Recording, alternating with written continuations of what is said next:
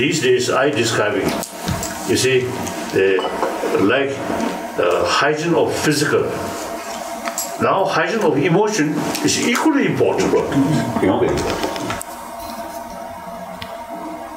So, uh, without sort of the proper sort of uh, peace of mind or proper what is it, mental state, too much emotion, uh, too much attachment. More attachment there, more anger, more irritation usually come. So therefore, politicians also, politicians also need some study about ancient years of knowledge, how to keep your mind peace. so that you see your wisdom, your brain can function normally. Too much emotion of uh, intelligence cannot function properly. Too much emotion, you can't see the reality. Always biased. Always biased, Oh. definitely. In order to know the reality, our mind should be unbiased and then look objectively. Then we can see the reality. Too much desire, you can't see. Too much anger, you can't, you can't see. Like that. So I think today's world, there there is some kind of sort of problem or crisis about moral principle Moral principles. and the emotional problem there, including many leaders of country.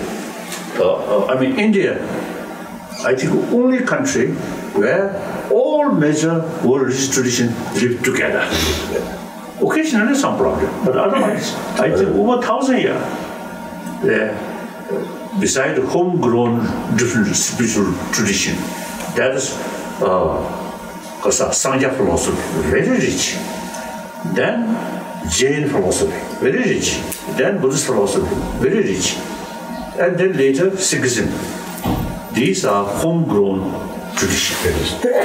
then from outside, Zoroastrianism. Then Judaism, Christianity, and then Muslim, all come from outside, but settle here, very harmoniously. So therefore, yeah, uh, India's tradition, I really feel uh, not only ancient knowledge, but very relevant to today's world.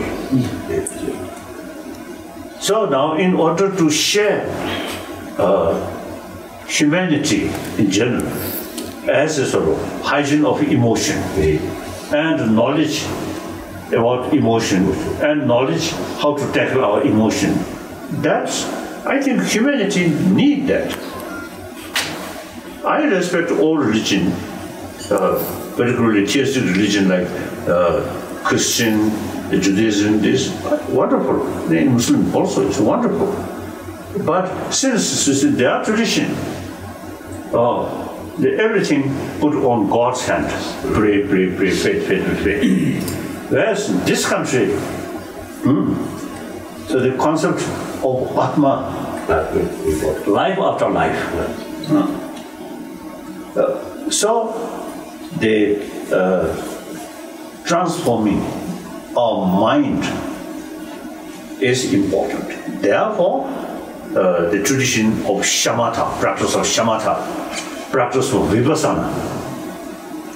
In Judeo-Christian tradition, not that.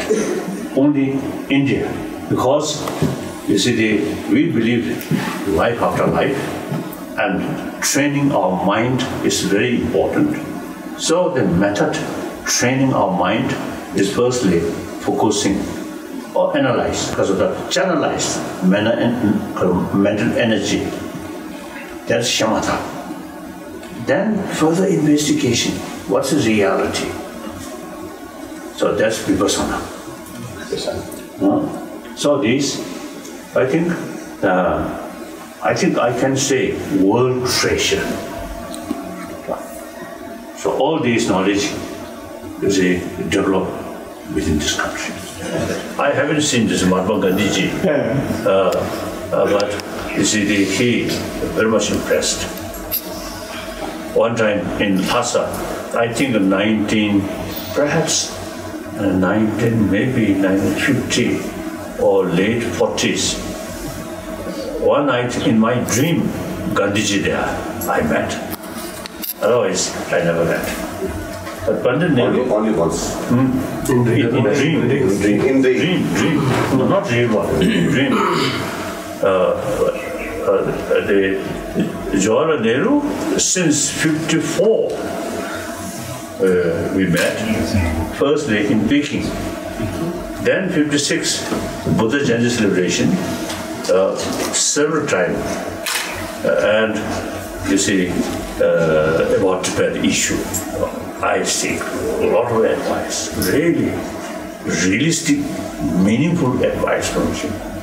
Really wonderful. Then 59, uh, all as it is, as the matter for Tibetan school and Tibetan settlement, and including these big learning center, all planned during uh, Pandit Nehru, Nehru's time. Uh, Okay, thank you.